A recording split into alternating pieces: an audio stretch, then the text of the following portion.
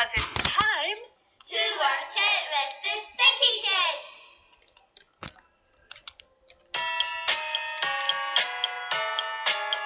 Can you clap your hands? Clap your hands.